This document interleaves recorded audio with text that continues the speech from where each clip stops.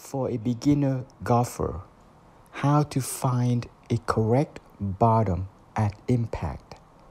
Okay, um, there are four different bottoms that you must find it because uh, the first one is uh, the iron, the second one is the wood, the third is driver, the fourth is chipping.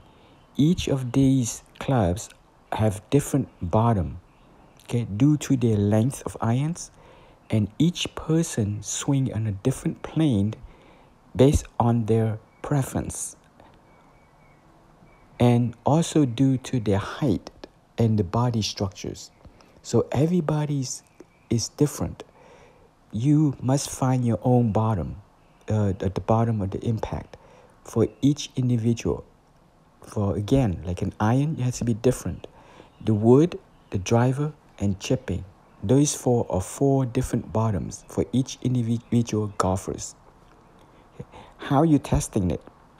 First, you just put the ball at the center of your stand and you test out the iron first. So you just hit about 20 ball and then you just slightly moving the ball back a little bit or forward a little bit until you find the correct bottom.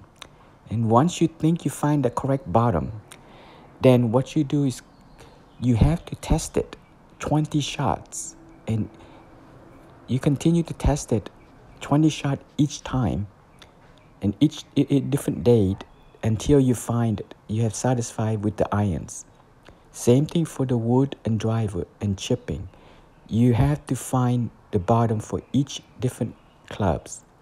Okay as a reminder, due to each person or swing differently, due to in, in a different plane, different preference, and due to their height and body structures.